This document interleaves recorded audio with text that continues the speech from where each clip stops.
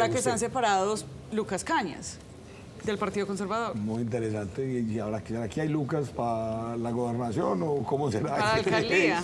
No, yo creo que más allá de ese tema, las líneas rojas aquí son el bloque Petro Quintero. Si usted me pregunta a mí, yo veo por lo menos 15 de esos candidatos a la alcaldía de Medellín que tienen una relación directa de Daniel Quintero. Y tengo que decírselo, mire, Gustavo Petro les dio la lección.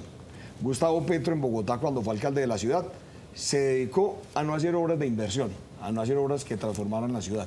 Se dedicó a empadronar 500 mil personas en todo el territorio a través de contratos de prestación de servicios, de subsidios de vivienda, de subsidios de desempleo, de emprendimientos, y así lo hizo. Y hoy en Medellín estamos viendo eso. Yo creo que el mayor riesgo es que ninguno de esos candidatos que podamos escoger, si no fuera el candidato de derecha, tiene que tener el requisito de que no sea un candidato escondido de Daniel Quintero.